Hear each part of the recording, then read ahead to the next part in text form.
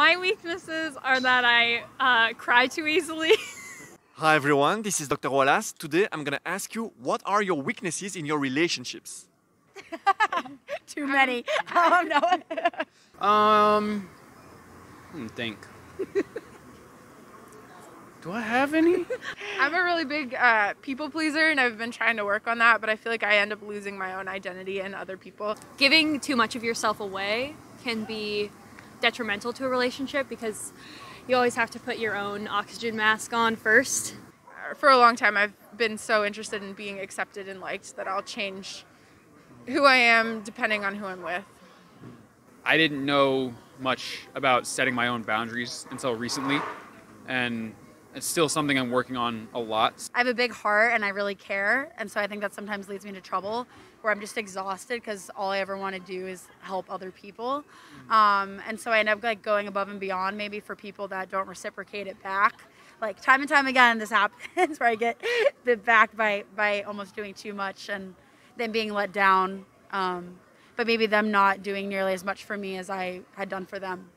My weaknesses are that I uh, cry too easily, and um, I, uh, despite what I just said about feeling like I can trust him with anything, I have trust issues. So I always think something's going on. What are your weaknesses in your relationships? We can talk about today. Oh yes, I have very, very, very bad patience, very bad tempo, and I don't want to lower my protection. Like a hatchet when they get attacked, they roll over and they the, the pokey thing come out. Mm-hmm. Hedgehog. Hedgehog. Yeah. I need a She's translation very here. pokey. I really strive to be authentic with myself and how I feel, so being um, inauthentic can be a weakness for sure. miscommunication that's like the biggest like weakness probably in almost every single relationship there will be miscommunications you'll say something two people interpret it differently um, and it's about how effectively you can communicate so I think my biggest weakness is talking too much about it. So even when I know that I should not be talking about it, or it's if it's something on the back of my head, I need to get it out.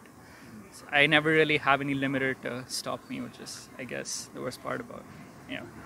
Weakness maybe is i'm unpredictable like one day i make i may say yeah i want to go to hawaii yeah and then sometimes my girlfriend convince me not to do that but sometimes i just say let's book a ticket to hawaii and then just go There's a lot of things she loves to do that I don't.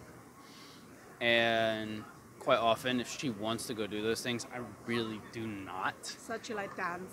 Dance or taking pictures or things like that. It's I really actually do not enjoy those things at all. And so, quite often, I find it very, very difficult to agree to participate in those activities. Or even, you know, we're out and about and she wants to take a picture or something, I'll complain.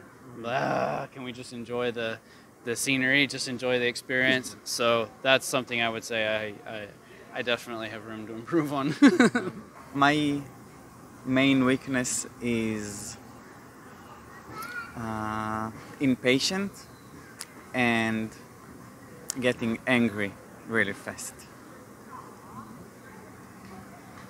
My weakness is fear and um, wanting to change everybody and everything to to force everybody uh, progress healing it's like i'm taking their own will because i want to see a better world a better place These are not questions that are going to endanger our relationship, right?